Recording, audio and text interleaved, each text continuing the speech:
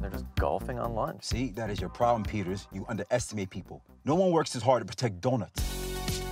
We'll take all of them. We're out of your league, boys!